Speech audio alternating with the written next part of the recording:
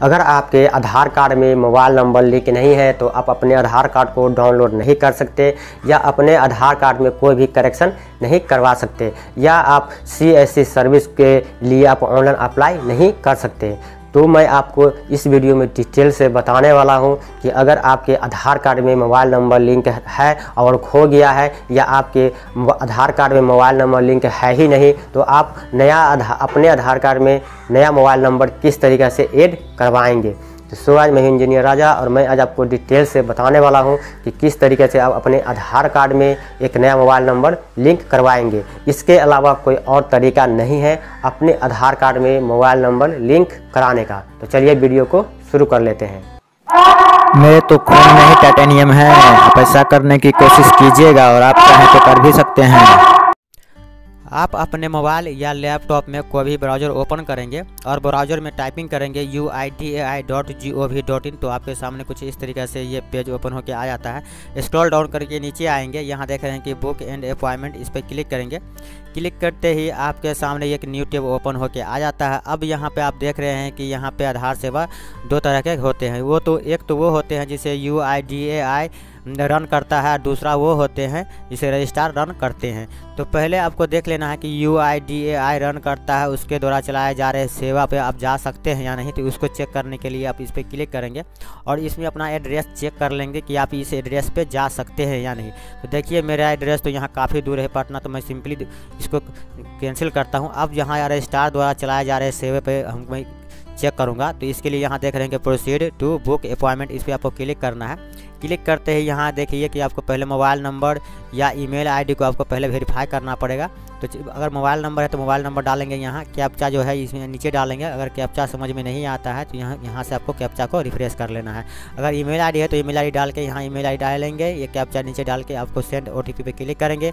आपके पास ओटीपी आएगा, वो ओटीपी को आपको यहाँ डालना है और इसके बाद यहाँ पर आपको सबमिट करके वेरीफाई करना है। चलिए मैं यहाँ मोबाइल नंबर चूज़ करके मोबाइल नंबर डाल के वेरीफाई करूँगा। अब मैं यहाँ पे मोबाइल नंबर कैप्चा डाल के यहाँ सेंड ओ टी पे क्लिक करता हूँ। मेरे मोबाइल नंबर पे एक ओ आ गया है, मैं यहाँ ओ डाल देता हूँ। आप ध्यान रखिए कि ओ का जो टाइम होता है, वो वैलिड टाइम ओ का टेन मिनट होता है तो आपको टेन मिनट के अंदर अंदर में आपको यहाँ पे ओ डाल देना है। तो मैं यहाँ अब डाल दिया ओ टी पी यहाँ submit O T P and proceed पे ओके करूँगा। अब देखिए मेरा यहाँ पे जो है सबमिट हो चुका है, अब यहाँ पे दो ऑप्शन ओपन होकर आ चुका है। यहाँ पर देख रहे हैं कि न्यू इनरोलमेंट अब इस पर क्लिक करेंगे। यहाँ पर देख रहे हैं कि अपना फुल नेम भी करेक्शन करा सकते हैं डेट ऑफ़ बर्थ एज भी यहाँ से अपना एज भी करेक्शन करा सकते हैं डेट ऑफ़ बर्थ भी करेक्शन करा सकते हैं जेंडर मतलब मेल है फीमेल है, जो भी है, इसमें करेक्शन करा सकते हैं। यहाँ देख रहे हैं कि रेसिडेंस टाइप मतलब इंडियन नॉन इंडियन है, उसको भी आप करेक्शन करा सकते हैं। चलिए, हमको तो मोबाइल नंबर और ई मेल करेक्शन कराना है तो सिंपली यहाँ देख रहे हैं कि अपडेट आधार तो यहाँ पर अपडेट आधार वाले पे क्लिक करेंगे। अब यहाँ पर देख रहे हैं कि आपका ऑप्शन ओपन होकर आ चुका है। अब यहाँ पे अपना नाम डालना है, वही नाम डालेंगे जो आधार कार्ड में होगा, ठीक है? तो आपको यहाँ पर नाम डालना है, यहाँ पे आधार नंबर डालना है। अब आप किसमें करेक्शन कराना चाहते हो, वो आपको यहाँ से चूज़ कर लेना। जैसे name gender date of birth mobile number e mail address biometric scan जो होता है फिंगर हाथ का अंगूठा का, वो इसमें से जो भी आप करेक्शन कराना चाहते हैं, उस पर आप ऐसे टिक मार्क लगा देंगे। चलिए, हम ई मोबाइल नंबर और ई मेल कराना चाहते हैं तो हम दोनों सेलेक्ट कर लेते हैं। इस पर यहाँ नाम और यहाँ पे मैं आधार नंबर डाल देता हूँ। अब यहाँ नाम, आधार नंबर और जो भी आपको करेक्शन कराना है, उसमें से सेलेक्ट करके यहाँ प्रोसीड वाले पे ओके करेंगे। ये कन्फर्मेशन के लिए, चलिए, यहाँ सब कुछ मेरा ओके मैं यहाँ ओके करूँगा। अब यहाँ पे आपको अपना यहाँ पे जो भी आप करेक्शन कराना चाहते हैं, वो आपको यहाँ डाल देना देना है। जैसे मैं यहाँ मोबाइल नंबर को करेक्शन कराना चाहता हूँ तो मैं यहाँ मोबाइल नंबर डालूँगा। ये कैप्चा यहाँ पर डाल के सेंड ओ टी पे क्लिक करता हूँ। चलिए मैं अपना मोबाइल नंबर यहाँ डाल देता हूँ। अगर कैप्चा समझ में नहीं आता है तो यहाँ से जाकर अपना कैप्चा भी आप यहाँ से रिफ्रेश कर सकते हैं। चलिए मैं यहाँ मोबाइल नंबर डाल देता हूँ। तो मैं मोबाइल नंबर डाल दिया कैप्चा डाल के मैं यहाँ सेंड ओटीपी पे क्लिक करता हूँ।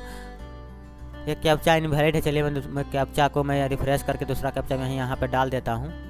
चलिए मैं कैप्चा डाल दिया सिंपली सेंड ओ पे क्लिक करता हूँ। अब यहाँ पे देखिए कि आपके मोबाइल नंबर पे एक ओटीपी आया होगा।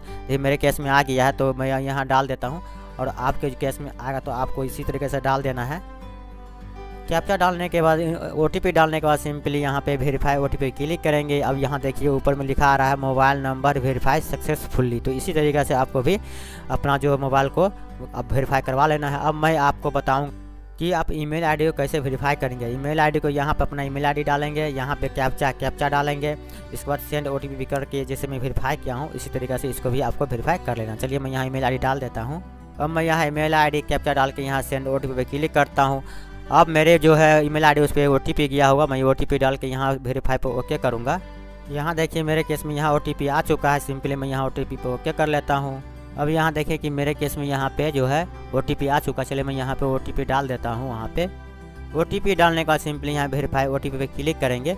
यहाँ देखिए कि मेरा ईमेल आईडी भी वेरीफाई हो चुका है। सिंपली अब यहाँ सेव एंड प्रोसीड पे क्लिक करेंगे।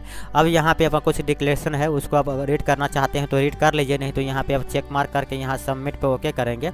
जैसे सबमिट पे ओके कीजिएगा तो कीजिएगा तो यहाँ देखिए कि आपका अप्लीकेशन हैज़ सबमिट हो चुका है और यहाँ पे आपका जो है अप्लीकेशन आईडी भी यहाँ पे आपको दे दे दिया है। तो इसको आप स्क्रीनशॉट ले लीजिए मोबाइल से फ़ोटो खींच लीजिए। इसके बाद सिंपली यहाँ पे हम बुक एंड अपॉइंटमेंट पर ओके करेंगे। अब यहाँ पर देखिए कि अपना जो आधार सेंटर है इसको आप सर्च कर सकते हैं, यहाँ नाम डाल के भी और यहाँ पर अपना पिन कोड भी डाल के। चलिए मैं यहाँ पहले आपको यहाँ नाम डाल के सर्च करके दिखा देता हूँ। तो यहाँ देखिए मैं यहाँ नाम डाल के मैं यहाँ गेट डिटेल पे ओके करूँगा। जैसे मैं यहाँ पर करता हूँ, यहाँ देखिए कि दस इनरोलमेंट सेंटर फाउंड है मतलब इस जो नाम पे है, दस गो है। तो इसी तरीके से आप भी फाइंड कर सकते हैं। चलिए मैं आपको अब ओ टी पिन कोड डाल के दिखा देता हूँ। तो देखिए मैं यहाँ पे पिन कोड डाल दिया, मैं गेट डिटेल पे ओके करता हूँ। ओके, करते यहाँ देखिए कि जो मैं पिन कोड डाला हूँ, उस पर एक भी नहीं है। तो चलिए, मैं यहाँ पर जो है, नेम वाला पे ही मैं सर्च करके देख लेता हूँ और इस पर मैं देख लेता हूँ कि मेरे नज़दीक में कौन सा है। तो सिंपली जो भी नज़दीक में है, उसको आप सर्च कर लेंगे। तो इसमें मेरा नज़दीक में कोई नहीं है, ठीक है। मैं दूसरा नाम डाल के यहाँ सर्च कर लेता हूँ। दूसरा नाम डाल के भी यहाँ से आप अब सर्च कर सकते हैं। जैसे देखिए हम दूसरा नाम डाल दिया। अब यहाँ पर देखिए कि इसमें भी दस वो आ चुका है। चलिए मैं यहाँ पे चूज़ कर लेता हूँ। पहले वाला को ही चूज़ कर लेता हूँ क्योंकि कुछ न, कुछ नज़दीक है। अब यहाँ पर देखिए कि यहाँ पर कुछ ऑप्शन में बताया जा रहा है कि अब जो ग्रीन वाला जो है यहाँ स्लॉट अवेलेबल है और यहाँ रेड वाला जो है वो स्लॉट नोट अवेलेबल है। तो इसमें देख कि रेड है तो इसमें स्लेट अवेलेबल नहीं है। चलिए यहाँ पर मैं दूसरा मंथ में देख लेता हूँ, इसमें तो है ही नहीं, इसमें तो और भी नहीं चलिए मैं बैक आ जाता हूँ। इसी तरीके से अगर इस डेट में नहीं है, अगला डेट में आप चेक करेंगे और यहाँ पर देख रहे हैं कि इसमें भी नहीं है, चलिए मैं अगला डेट में मंथ में देख लेता हूँ, इस मंथ में ही भी नहीं है, इसमें तो और भी नहीं, अगला मंथ में चलिए मैं बैक आ जाता हूँ। अब मैं दूसरा एड्रेस पर चेक कर लेता हूँ तो इसी तरीके आपको चेक कर लेना है कि कौन सा एड्रेस में आपको मिल जाएगा।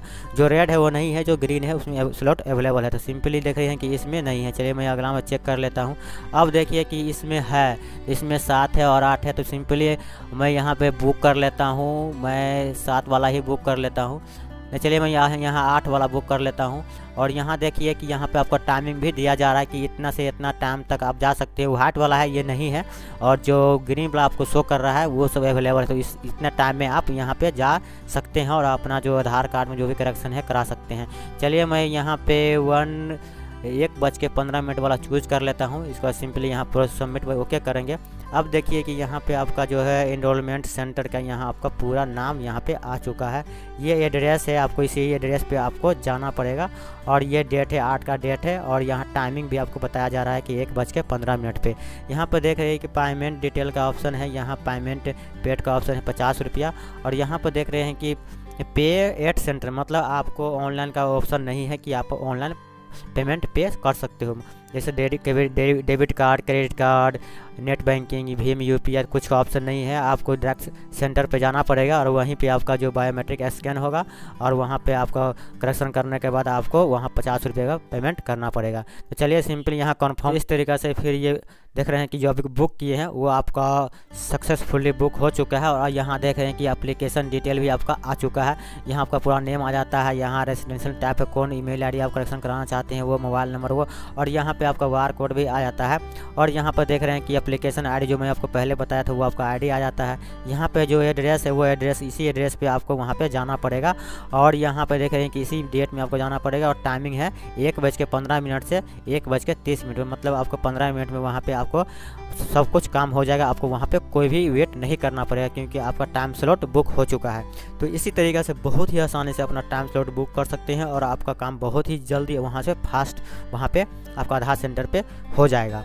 तो इसको आपको प्रिंट आउट निकाल लेना है, साथ में आपको आधार कार्ड ले लेना है और आपको जो भी एड्रेस मैं बताया हूँ, ये एड्रेस है, इसी एड्रेस पे आपको जाइएगा, वहाँ पर आपको कोई टाइम वहाँ पर आपको कोई भी वेट नहीं करना पड़ेगा, बस इस टाइम पर पहुँचिएगा, आपको फिंगरप्रिंट होगा और वहाँ पर आपका जो भी करेक्शन है, कर दिया जाएगा, बस आप पेमेंट देंगे, आपका करेक्शन सक्सेसफुली आपका जो भी है करेक्शन वो हो जाएगा हो जाएगा। तो गाज अभी तक आपने मेरी वीडियो को लाइक नहीं किया, वीडियो को लाइक करें वीडियो को शेयर करें और चैनल को सब्सक्राइब नहीं किए हैं, चैनल को सब्सक्राइब करके बेल के बटन को प्रेस करें, क्योंकि मैं इस तरीके का नया नया और लेटेस्ट वीडियो में पर डे अपलोड करते रहता हूँ। और मेरे वीडियो से आपको ज़रूर कुछ ना कुछ नॉलेज गेन होगा। तो चलिए मैं इसको मैं डाउनलोड कर लेता हूँ, क्योंकि मैं तो इसको लेके जाना है ना तो इसीलिए आपको भी इसको डाउनलोड कर लेना। चलिए मैं यहाँ पे डेस्कटॉप चूज़ कर लेता हूँ और मैं यहाँ पर इसको सेव करके रख लेता हूँ। तो आपको भी इसी तरीके से उसका प्रिंट आउट निकाल लेना है। प्रिंट आउट निकाल के आधार कार्ड और जो भी एड्रेस है, उस एड्रेस पर जाइएगा। बहुत ही आसानी से आपका जो अपडेट है, वो कर दिया जाएगा।